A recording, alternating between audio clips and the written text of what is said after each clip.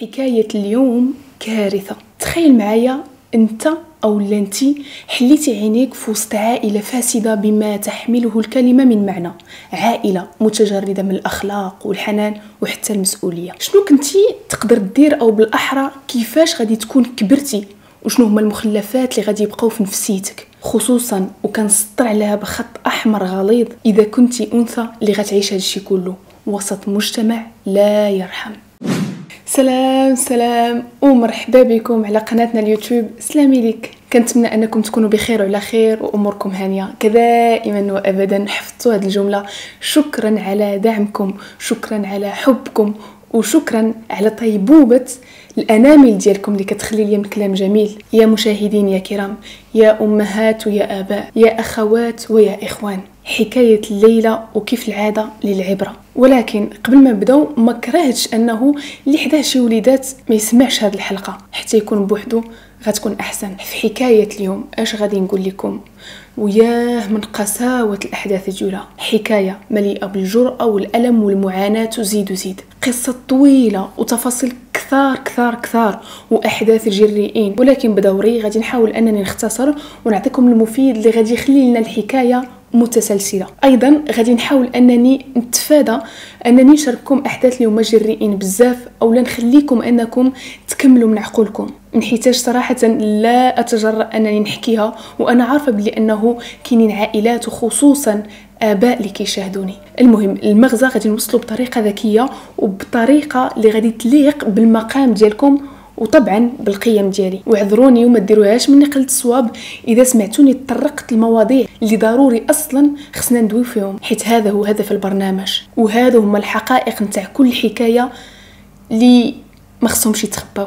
واصلا صاحبة الحكاية ديال حلقتنا اليوم والله العظيم والله شهيد على ما أقول. بدموعها كتعاود ليا وكتقول لي بلي أنه فين ما كتبغي تعاود لي شي أحداث كتمشي ليها الكلام اولا الهضرة وما عرفاتش مناش تبدا ليا. المهم طولت عليكم بزاف المقدمة ولكن كان من الضروري أنني ندير هذا التوضيح. صاحبة القصة غادي نختار ليها كاسم مستعار ليلى. لنبدأ؟ لنبدأ. ليلى كتقول غنشارك معكم أهم الأحداث اللي ما قدروش يتحيدوا لي من الذاكرة ديالي وما قدرتش نعيش معاهم ليومنا هذا.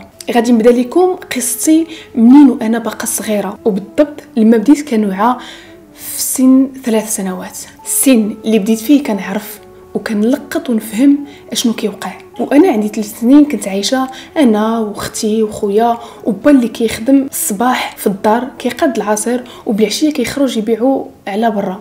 أمي كانت كتخدم في المعمل. حليت عينيا في الفقر. الفقر المدقع. با ما كانش كيصرف علينا. إلا مرة مرة أو لا نادرا. فإذا كنا كنفطروا ما كناش كنتغداو. كنت كنعقل على أمي كانت كتخون با مع الخليل ديالها. آيه وأنا عندي 3 سنين. باقي كنعقل على جميع التفاصيل. كيفاش عقلت؟ حيت يا سادة يا كرام كانت كتديني معها واختي الصغيرة كانت كتخليها مع جدة اللي هي أمها.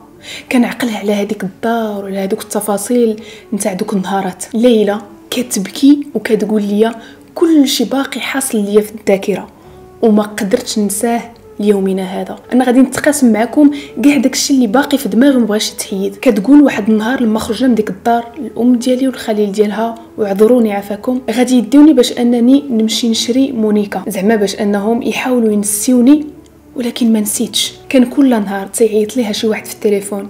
كل نهار كدير موعد مع شي خالي جديد. والطامة الكبرى أنها كانت كتديني معاها. ديما كانت كتصيفطني عند الناس وتقول لي سيري عند عمو يعطيك عشرة دراهم.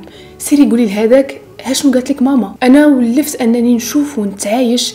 حتى ولات كتجيني هاد الحياة أو لا أي حاجة كتدار مخله للأخلاق أو ايا كان شي حاجة عادية. المهم الوالدة ديالي لما كتخرج للخدمة كنبقى أنا وأختي في الدار. في الحومة كلشي كان عارف حنا تنعيشوا في واحد الحالة مزرية. وكانوا تيضربونا وكانوا تيحتقرونا. وكنا كنخرجوا للزنقة شبه عاريين وحنا مازال صغار. كتقول لي ليلى كيفاش غادي نقدر نشارككم هاد الأحداث؟ وأنا عمرني شاركتها مع شي حد وكتبكي.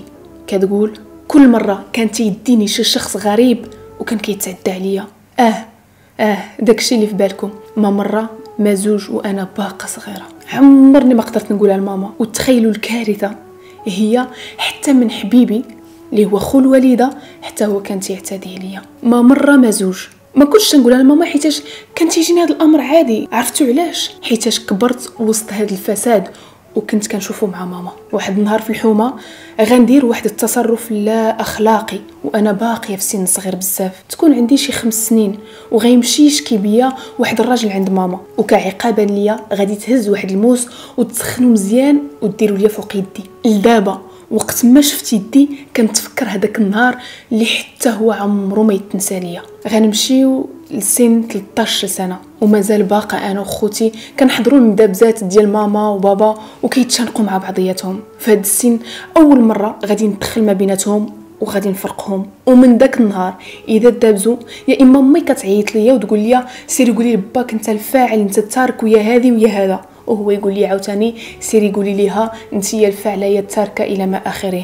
ما كانش الاحترام ما كانش التقدير وما كانش الحياة العائلية. المهم ولاو ديما حاطيني ما بيناتهم مرضوني في حياتي حتى طلبتهم باش أنهم يتفرقوا. وفعلا غادي يتطلقوا واحد النهار غادي نتعلق في الباب نتاع البيت وغادي نتلاقى واحد الحجاب معلق. ما عرفتش شنو هذاك الحجاب ديالاش؟ واش باش أنهم والديا يطلقوا واش شي حاجة أخرى؟ المهم أنا هزيته وما عرفتش شنو ندير به. من هذاك النهار وأنا مريضة وليت نخاف من الموت. حتى وليت كنتوسوس وتجيني واحد الحالة ربي اللي كيعلم بها. كنبدا نقرأ القران بسم الله الرحمن الرحيم بسم الله الرحمن الرحيم. وكيمشي ليا الكلام ديال القرآن ما كنبقاش نعقل عليه. وكتجيني واحد الحالة اللي كيتزير فيها الجسد ديالي ويتنمل عليا. بحال الروح باغا تخرج ليا. والنعاس ما كانش كيجيني كان منعدم. ومن ديك الوقت ليومنا هذا كنعاني من نفس الحالة. كنت نقولها لماما تنقول لها ها شنو باش كنت نحس كتقول لي لا راه عادي. حتى حد ما كانت يديها فيا. ما عرفش واش هذا الشيء نفسي ولا عنده علاقة بداك الحجاب ديال السحر اللي لقيت. حتى لواحد النهار الأم ديال ماما اللي هي جدة غادي تعيط لها وتقول لها أجيو تعيشوا معايا. فعلا مشينا ولكن عمرني ما ارتحيت لهم حيت كان واحد حبيبي واحد آخر من غير هذاك كان عايش معانا اللي ما كناش مفاهمين معاه. ماما كانت مرة كتخدم ومرة مع الخليل ديالها وحنا كل شيء كنا كنشوفوه بعينينا وجدة هي اللي كانت كتقابلنا. ونزيدكم الطامة الكبرى هي أنه حتى هاد جدة ما سهلاش. كنا عايشين في واحد الدار بعيده على الأخلاق وعلى التربية. منزل كان فعلا فاسد. من حيتاش حتى هي كتيجي يزورها الخليل ديالها. ديال جدة. وكنت كنشوف بزاف ديال الحوايج وأنا صغيرة. ولادها كيشوفوا كل شيء ولكن كانوا معايشين مع الوضعية. المهم ما كاين ما نعاود لكم. قمة لا اخلاق بقيت عايشة وسط هاد الدوامة. العائلة ديال ماما كلها بحال بحال وكلهم خارجين على الطريق. هاد حبيبي اللي ساكن مع جدة كان دائما كيضربني. أنا وخوتي. وكيدابز ديما مع ماما وديما المشاكل. وماما ما كانش كتخليني نلعب في الحومة إلا بشرط أنني نخرج معايا خوتي. وإذا ما خرجتهمش كتعيرني بكلام قبيح. هادشي كله اللي داز عليا واللي كبرت فيه خلاني أنني ما نقراش مزيان أو بالأحرى ما نركزش في القراية كاع. كيفاش غادي نقرا في هذا الجو أصلا؟ معاودة التحضيري معاودة الثاني معاودة الثالث وقريت حتى للسابعة. تخيلوا واخا هكاك ليومنا هذا العربية باقية كنتهجاها وما كنعرفش نكتبها. وهذا الشيء كله بسبب المشاكل اللي عشت مع أمي ومع با بسبب التربية ديال امي وبسبب التربية ديال با بسبب اللاوعي وانعدام الأخلاق والاهتمام ديالهم. مرة مرة كنت كنخرج من دار جدة ونمشي لعند دار جدة الأخرى ديال با نجلس معاهم وحتى تما ما كنتش مرتاحة. حيت والديه كانوا ناس محافظين بزاف وملتزمين. وأنا كنت باقا صغيرة. فكان بزز مني أنني نلبس شي حاجة طويلة. وإذا كان العكس كان تيجري عليا من الدار. زائد على هذا كان خصنا أننا ننعسو مع التسعود ديال الليل ونوضو مع السبعة ديال الصباح. وصراحة ما قدرتش نتأقلم نهائيا وما ولفتش نعيش هكاك. وحتى تما ما كنتش مرتاحة. وجدة كانت كدير الفرزيات ما بيني أنا وخوتي وولاد عمامتي. حيت كنا فقيرين في هذا الوقت كنت مرة مرة نمشي عندي شي صاحبتي يا جيران غير باش نبات معاهم. وبالمقابل كنت كندير لهم الشغل بحال نغسل الماعن شطاب نجفف غير باش نكون عندهم عزيزة ويخليوني نبات معاهم في الدار. واحد النهار غادي نمشي للدار عند عمتي. واحد ولد عمتي غادي يحاول حتى هو باش أنه يتعدى عليا. في ديك الوقت غادي نغوت. ومنين شافني أنني رفضت؟ مشى عند امو واللي هي عمتي. وقال باش تجري عليا إيوا وبقيت من هنا لهنا. كنت عايشة ملوحة من دار لدار. بقيت عايشة على هاد الحالة. بلا ما نساو أني في هاد السنوات كنت كنتعرض لاعتداءات جنسية. باقي كنعقل على واحد الحادثه نتاع واحد الشاب كان كبر مني بشي 15 سنة. غيديني لواحد البلاصة خاوية في البحر ويتعدى عليا ويهرب.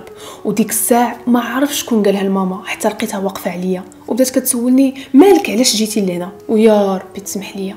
كان بان ليا واحد الراجل مسكين واقف حدايا كيلعب الرياضة. ونعت لها فيه على أساس هو اللي اعتدى عليا. وهذاك الراجل كان معروف في الحومة ديال جدة. وهو كان بحال حمق شي شوية. غيمشيو يديروا به شكاية وغادي يشدوه 3 شهور ديال الحبس. من ديك الساعة وأنا وضميري كان كيعذبني وليومنا هذا. الله يسمح ليا بقى فيا بزاف. واصلا حتى شي حد ما كان كيديها فيا. لا فين مشيتي ولا فين جيتي. لا شنو كديري؟ لا شكون عطاك الفلوس؟ كل نهار كنمشي نجلس في شي بلاصة ونبقى نبكي نبكي نبكي. ونبقى نقول اليوم غادي نموت غدا غادي نموت. بقيت على ديك الحالة. شحال؟ وعمر شي حد. مدها فيا المهم من بعد ما خرجت من السابعة غادي نمشي ندخل لواحد التكوين وما غاديش نكمل العام. كانت عندي ديك الساعة 14 سنه غنتعرف على واحد الصديقة اللي عمري شفت منها أنها كدير شي حاجة خايبة. واحد النهار كنت خارجة من التكوين ومشيت للدار نتاع جدة. خير دخلت للدار وما يجيو شي ناس يبداو كيدقوا حلات جدة وسولوها واش دار فلانة. واش كتسكن هنا. نوعا ما فرحت يصحاب لي واش الخطاب. شوية كنسمع حنا البوليس. منين سمعت البوليس؟ يصحاب لي جاو باش أنهم يرجعوني للمدرسة. حيت ديك الوقيتة كنت خرجت منها بسبب الفطار. حيت كنت كنمشي عند با كنقول ليه شري ليا. وأمي كتصيفطني عنده عاوتاني. حتى طلع لي الدم وخرجت بسبب الفطار. المهم غادي نخرج لعندهم. وهما يقولوا لي واش كتعرفي فلانة. قلت لهم آه راه صاحبتي. قالوا لي واش كتعرفي حتى هذا الشخص. قلت آه وأنا على نيتي وهما يقولوا لي راكي متهمة بلي انك كتبيعي الممنوعات في المدرسة. نعم الممنوعات تصدمت. قالوا لي جينا باش نقلبوا حوايجك البيت قلت لهم آه دخلوا. ما خلاو ما قلبوا ما خلاو والو. واخا هكاك غادي يمشيو يركبوني في واحد الطوموبيل وغادي يديوني للكوميساريه وأنا عندي 14 15 سنة. وبقاو كيحققوا معايا. واش كتبيعي الممنوعات في المدرسة؟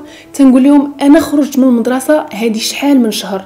وأنا دابا راني في النادي كنتعلم الخياطة وهما صحاب بغاو يلصقوا فيا هذه التهمة. وهذيك اللي اتهمتني قالت لهم راه واحد خاينة تيجي عندها المدرسة بالطوموبيل هاكي دايرة هاكي دايرة.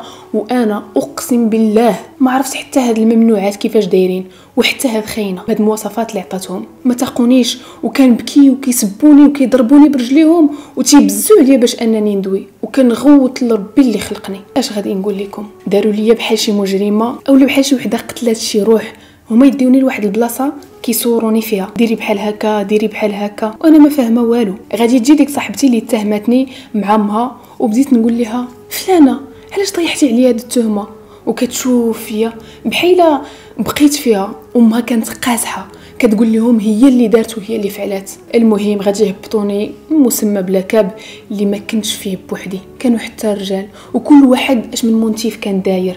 حطوني في بيت اللي الحيوطة ديالو مكتوبين فيه الفضايح. خلوني فيه ثلاث أيام وكنت نعس غير على واحد المانطه ريحتها حالة وغير على الضص ونذكركم بلي أنا ذاك كانت عندي غير 14 سنة حتى حد ما عقل عليا حتى حد ما عتقني منين داز دوك اليامات ديك 3 أيام وشافوا بلي أنه ما درت حتى شي حاجة وبريئة غادي يخرجوني. خرجت للزنقة وكل شيء كيشير فيا. ها هي فلانة ها هي فلانة.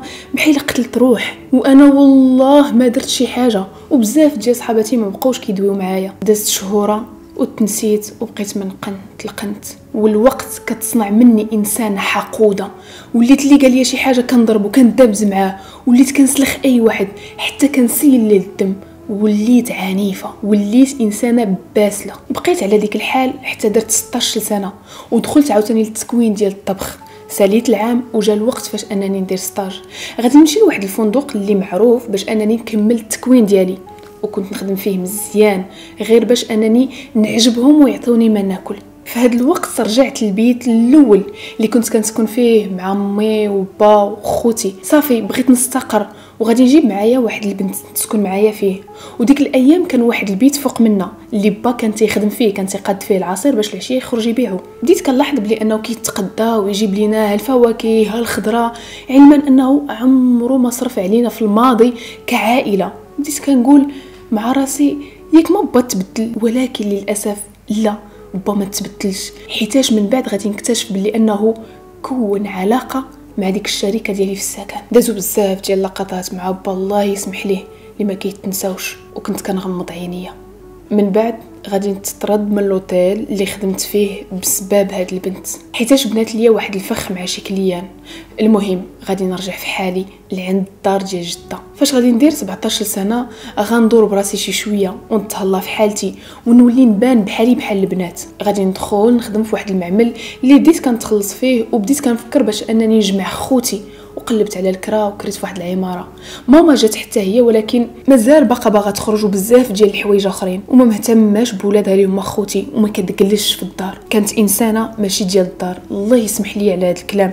ولكن أنا محتاجة أنني نخوي داكشي اللي عندي وهذه هي الحقيقة. ليلى كتقول لقيت راسي كنخلص الكرا وما عايشاش ديك العيشة اللي بغيت ولا اللي تمنيت. علما أنني أنا اللي كبرت خوتي. فاش كانت ماما خدامة وكنا صغار كانت كتخلي ليا زوج خوتي دراري. وأنا كنت في واحد السن صغير بزاف. سن اللي مازال كنت كنلعب فيه وكنبغي نخرج للحومة. والله يسمح لي من خوتي الصغار. واحد كانت عنده عام والآخر كانت عنده عامين. فاش كنا ساكنين في داك البيت كان الباب ديالو محلول على الدروج. وكنت كنحطهم ونسد عليهم. وتندير غير واحد الخشبة ونحصرهم بها باش ما يحاولوش أنهم يحلوا الباب. ومنين كنت تنجي نحل عليهم؟ واش عرفتو كيفاش كنت كنلقاهم مساكن؟ ما لابسين couches ما عندهم ماكلة وماما ما كانت كدير لهم أصلا والو وما كانش تخلي لينا حتى شي حاجة. وحتى أنا كنت كنزيد وكنخليهم فاش كانوا كيبقاو في داك البيت كيبقاو كيبكيو كيبكيو حتى كيشبعوا وكيديروا شغلهم من تحت منهم وينعسوا هكاك والدنيا مجعفنة ومجلخة. والريحة حاشاكم كنا عايشين في العفن قمة العفن خليني نرجع معاكم. لما كبرت وجبتهم لعندي ماما غادي تمشي عند أمها. وتدي خوتي. وخويا الكبير هذاك غير ضايع وعلم الله شنو حتى هو كان عايش من الجهة ديالو. طلقت ديك الدار وغادي نتصاحب مع واحد البنت وحدة أخرى اللي غادي تعيشني معاها هي وأمها أختها وخوها. وهاد العائلة كانوا كيمشيو عند السحارات بزاف كانوا كلهم كيطيحوا بالسحر. أنا داخليا ما كنتش مرتاحة ومع كاع هادشي ديال السحر زدت توسوس أكثر المهم غادي تقبلني عائلتهم حيت كنت كندور مع أمها. ولكن من بعد فاش خرجت من الخدمة ما غتقبلش مت صاحبتي نبقى معاهم إلا بشرط باش أنني نشقى ليهم. واخا كنت كنسمع الهضرة ونقير باختصار مفيد. واحد النهار غتجي ماما عندي وتقول لي بلي كاين واحد الأجنبي بغا يتزوج. أنا رفضت حيتاش عندي فكرة على ديك البلاد اللي من هذاك الأجنبي والناس ديالها باللي اذا مشيت ليها غادي نخرج فيها للطريق. أكثر من داكشي اللي كنعيش في المغرب. علما أنني حداها وبسببها تعرضت لأمور كثار. وما كانش اللي كيسول عليا وما كانش الحنان ولا حتى شي حاجة. المهم غادي يدوز شهر على هذا الكلام وغادي نلقى راسي عايشة في تمارة والحقرة وزيد وزيد وزيد. بديت تنقول ليلى انت راكي فيها فيها. أصلا راكي عايشة في العذاب. أشنو غادي يوقع أكثر من هذا الشيء اللي وقع لك في المغرب؟ وبدات كتبان لي الضبابة في عينيا. غادي نمشي عند ماما وغادي نقول لها بلي راني بغيت. مشيت بلا ليله ولا والو. حيت كانت ماتت جدة ديال ماما. وغادي نوصل لعند البنت السيدة اللي كانت قالت لماما عليا باش أنها تزوجني. بقيت معاها قبل ما يتزوجني الراجل اللي جابوني ليه. وصلت وغادي نكتشف ونشوف عالم واحد آخر. أصلا غادي نلقى بلي خيتي كتعاطى ورجعتني المساعدة عندها في الدار في انتظار هذا الشخص اللي بغى يتزوج بيا باختصار مفيد. غادي يعيط ليا ونتلاقاو. وكنا كنتواصلوا غير بالإشارات ونعاود ليه أشنو كنعيش مع هذه المغربية. قال لي صافي خليها ويلا لدارنا. رحبوا بيا مزيان. ومن بعد أسبوع عندهم درنا القاعد ودار لي العرس. ولكن عمرني عرفت كيفاش المعاملات ديالو أشنو كيعجبو كيفاش كيتصرف فين غادي يسكنني. المهم جيت بعينيا مغمضين وقلت لي ليها ليها. أنا باغا غير نخرج من داكشي اللي كنت عايشة فيه في المغرب. أنا ما كنتش باغا نكون بحال ماما. أصلا كنت عايشة غير في الحقرة وفي الفقر وفي الفساد. وفاش وصلت لعنده كان عالم آخر. الدار كيفاش دايرة واللباس كيفاش داير والطريقة ديال الماكلة وكل واحد والتبصيل ديالو. جاني داكشي في شكل. أبسط مثال أنا ولفت غير تبصيل واحد في الطبلة الصغيرة ومزاحمين حنايا سبعة بينا. كل واحد كيجر شي لقمة من قنت وراكم عارفين الفقر المدقع كيفاش داير. المهم أنا غادي نرتاح ونقول الحمد لله. ماشي داكشي اللي كنت كنتوقع. زعما بعيد على الفساد وبعيد على كل شيء صافي ها هو الرجل اللي تزوج بي على طاعة الله ورسوله وبالفاتحة. وبما يرضي الله. طمأنت وداني لدارو بوحدو. أش غادي نقول لكم؟ واحد مولاتي الدار اللي نتمناها لأي بنت. بقيت غير حالة فمي. وجاتني بحال القصر. بقيت كنقول غير اللهم ولك الحمد. واخا هادشي اللي داز عليا في السنوات الماضية في المغرب عمرني نسيت مولانا. ما كانش شي ليلة كدوز عليا بلا ما نبكي. كنت ديما كنصلي ونطلب الله يخرجني من هاد الحالة اللي حليت فيها عينيا وربوني عليها والديا. المهم تقدروا تسألوا مع نفوسكم واش قدر يقبل عليا رغم الاعتداءات اللي وقعوا ليا. كنت خايفة من هذه النقطة. وكانت كنتوقع أنه لما غيكتشف غيصيفطني للمغرب في حالي ولكن غيقبلني. بلا ما يعرف الماضي ديالي أو بالأحرى أنا ما غاديش نبوح ليه به. حيت إذا عرفوا كنظنش أنه كان يقبلني. من بعد شهر ديال الزواج اللي فيه غادي نتعلم كيفاش نحط طبلة أشنو تياكل ونبدا نتأقلم مع الوضع الجديد. بدا كيبان ليا الراجل كيتسيف عليا ولا دغيا كيغضب وإذا هضرت معاه دغيا كيتعصب وكيسب ولا كيضربني. واحد النهار عطاني قتلة ديال العصا. علاش؟ على الفيسبوك اللي كان عندي.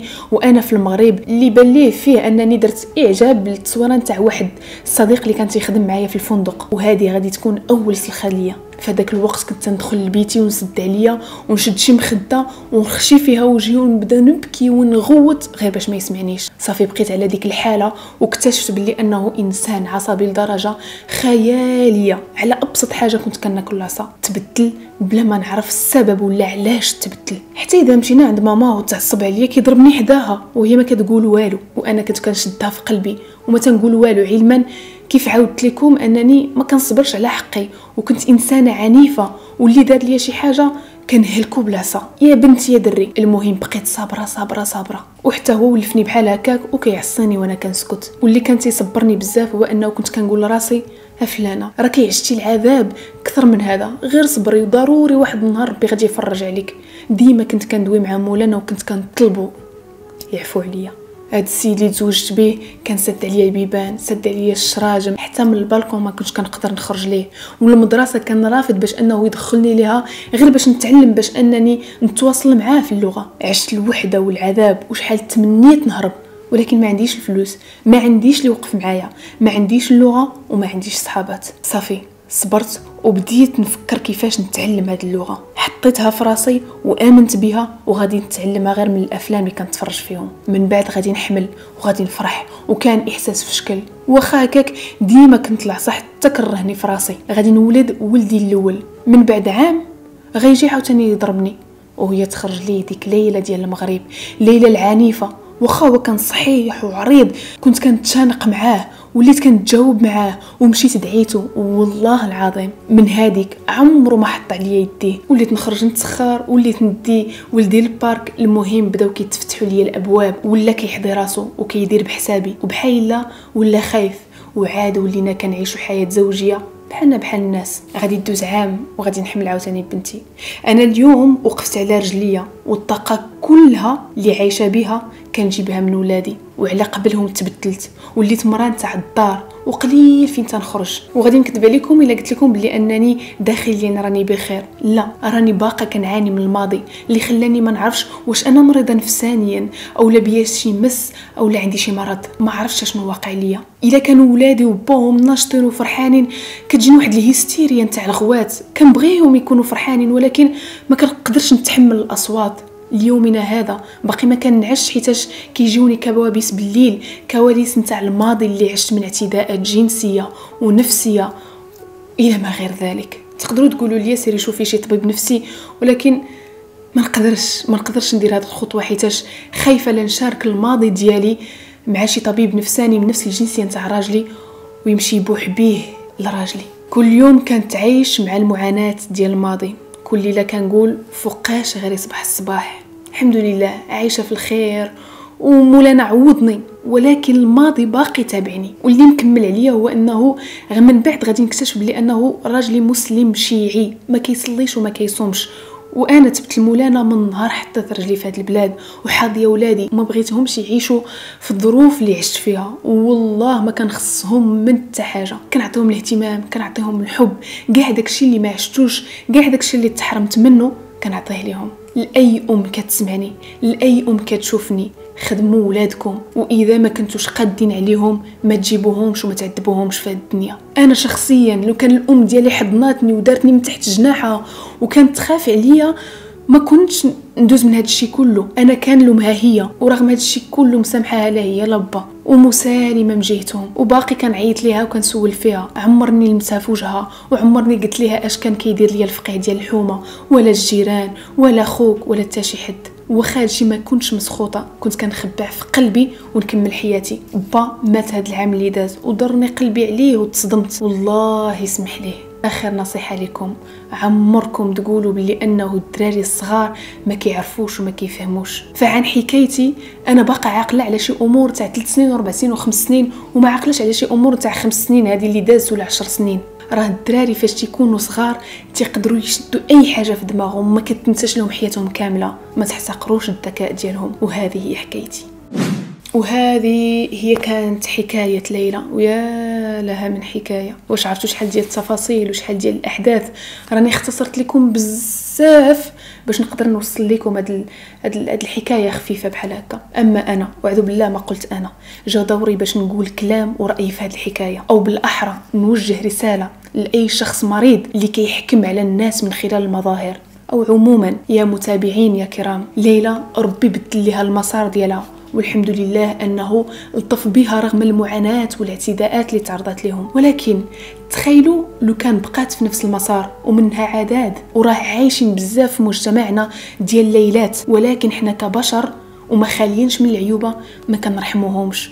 ولهذا عافاكم عمركم ما توزنوا على شي حد. عمركم ما تحكموا على شي حد. خصوصا خصوصا بائعات الهوى راه والله العظيم. راه ما كاينش شي إنسانة كتختار هذيك الطريق ديال العذاب هذيك الطريق اللي من عدم فيها الكرامة إلا إذا كانت أنها طاحت في ظروف ما. وبصح راه حتى شي ما كيبررش ولكن ماشي من حقنا أننا نحكموا عليهم وماشي حنا اللي كنختاروا والدينا. يقدر هذيك الإنسانة أنت اللي كتشوفها بنظرة ناقصة راه فاش كتدخل بالليل تسد عليها في بيتها كتبكي المولانة وكتناجيه وكتطلب منه السماحة. ممكن ديك الإنسانة مخبية فيها إنسانة نادمة وكتقلب على الطريق نتاع التوبة. ممكن هذيك الإنسانة حاضر في قلبها ربي أكثر منك أنت.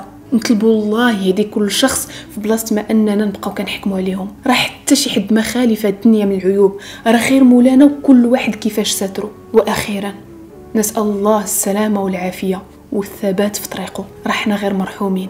نسأل الله باش أنه يذوقنا حلاوة الإيمان والحب نتاع سيدنا محمد عليه الصلاة والسلام ويغيبنا على الخلق ديالو ويلهينا في النفس ديالنا. وكيفاش أننا كل نهار نخدموها باش أننا نغيروها. حيت سيدنا محمد عليه الصلاة والسلام تيقول لك الجهاد الأكبر هو جهاد النفس ماشي الناس ولا حتى شي حد. الجهاد الأكبر. سمحوا لي إذا كثرت عليكم. وسمحوا لي اذا قلت شي حاجة ما عجبتكمش وما تنسوش بلي أنه رأيكم يهمني وكلماتكم طيبة محتاجة ليلى باش أنها تقراها باش أنها تجبر بالخاطر ديالها. وعافاكم. إذا شي حد ما قدرش باش أنه يطبطب على قلبها بكلام زوين فليصمت خير له. سلام. سلام.